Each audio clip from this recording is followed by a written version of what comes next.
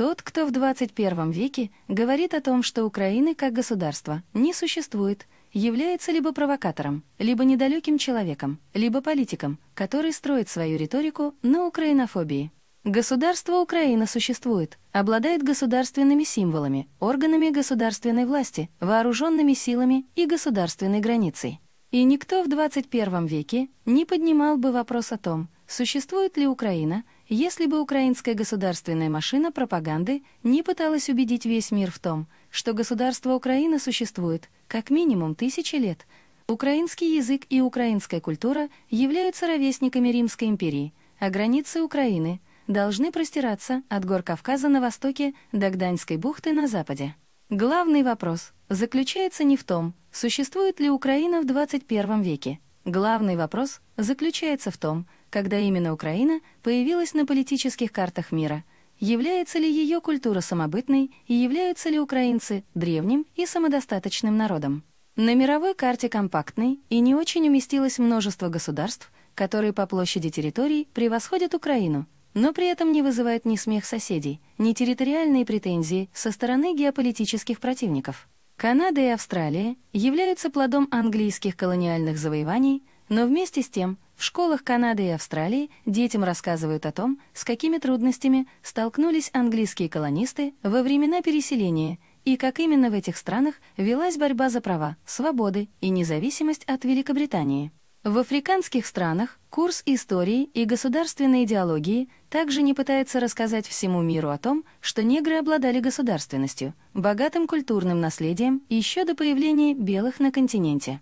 Напротив, учебники истории африканских стран с гордостью повествуют о том, как еще 150 лет назад чернокожие партизаны бегали от белых поработителей по диким африканским пустыням и саваннам, ведь белые строили города и дороги, а диких, неграмотных негров отлавливали для использования в качестве рабочей силы.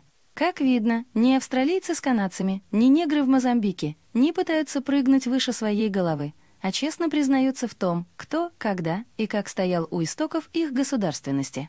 Но украинское государство, УК, упорно не желает признавать свое истинное место в мировой истории, из-за чего последнюю сотню лет украинские просветители, ученые и политики продолжают вызывать смех у просвещенной общественности. На страницах школьных учебников Украины продолжают жить племена древних укров, никому более неизвестных, Название своей страны украинские историки выводят из слова «кра» — степь, поле, из слова «ина» — государство, княжество. А контуры своей любимой Украины они продолжают находить на древнейших картах, которые были составлены еще во времена Киевской Руси. Странно, конечно, почему эти карты были составлены во времена Киевской Руси, а не, скажем, Киевской Укрии. Но, видимо, этой идеологической недоработкой займутся будущие поколения украинских историков. Русь, Руссия или Россия — это государство, заселенное русским племенем или государство русов. Франки или Франция — это государство франков или французов. Саксония, саксов, Англия, англов, Ирландия, ирландцев и так далее. Так может быть Украина — это государство укров? Но где тогда археологические находки, подтверждающие существование этого древнего и могучего племени? Или, может быть, Украина — это не государство укров, а нечто другое? Рассмотрим детальнее этимологию этого слова. Значение слова «Украина» раскрывают следующие классические академические труды. Словарь церковно-славянского и русского языка Императорской академии наук. Издание 1847 года Словарь древнерусского языка Срезневского. Издание 1912 года Энциклопедический словарь Брагауза и Ефрона. Издание 1902 года. Толковый словарь живаго великорусского языка Далее. Изданный в 1909 году. «Окраина», «Вкраина», «Украина», область или территория, находящаяся на краю государства, либо граничащая со степью пустыней, тайгой, то есть с незаселенной территорией, либо с другим государством. Само слово «Украина», а «Украина» появилось в русском языке с конца XII века как раз для обозначения территории на вкраинных, то есть диких местах. Таким образом, становится понятен тот факт, что хотя в различное время в древних документах и встречаются географические обозначения Псковская Украина, Мценская Украина, Смоленская, Сиверская, Польская Украина, об украинском языке, либо о малороссийских вышиванках там никто не слышал. Слово «Украина» в далекие от нас времена можно было легко сопоставить с современным словом «граница», «порубежье», «окраина». Ниже приведем цитаты из различных по времени написания летописей. Сибирские города в старь звались Украинами. Латина взиша Украины, Николика Псковских сел. Даже до Украины нашей страны Молдавской, на Украине, на Студенном море, а город Соловецкой, место Украины, в Осибирской во Украине, в Адаурской стороне, на Славной на Амур-реке.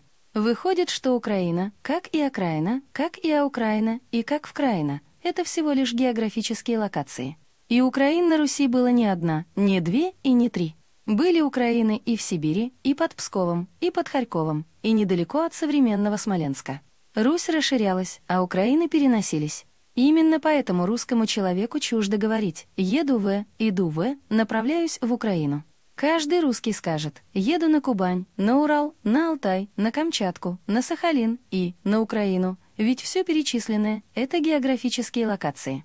Именно поэтому наша с вами лингвистическая память просто встает на дыбы, когда мы пытаемся сказать «еду в Кубань», в Урал, в Алтай, в Сахалин и в Украину.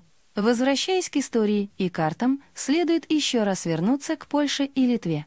Дело в том, что со временем Конфедерация Польши и Литвы, называемая в то время Речью Посполитой, приобрела дикие, малозаселенные территории, которые воистину стали окраиной Конфедерации. Никаких укров там не было и в помине, а вот всех тех, кто проживал и служил на окраинных землях Речи Посполитой, действительно называли украинцами. Точно так же, как сейчас жители Кубани называют кубанцами. А жили там многие – поляки, русские, татары, литовцы. Главное, что необходимо понимать из всего увиденного – это то, что первым, кто выделил на карте Украины земли Речи Посполитой, был французский военный инженер и картограф Гийом Левасер де Баплан. И он совершенно правильно назвал свою карту — общее изображение пустых равнин, обыкновенно называемых Украиной соседними провинциями. И еще раз, для закрепления и повторения, пустых или пустынных равнин. На карте Польши 1805 года можно увидеть, что вся территория государства разделена на 31 пфальцграфства или на 31 административный округ, если говорить современным русским языком. Здесь можно найти целых два русских округа, которые компактно разместились на территории современных Львовской и Волынской областей, но здесь невозможно отыскать ни одной Украины. И в этом нет никакой мистики или загадки. Просто Украина, как и было сказано ранее, это географическая локация.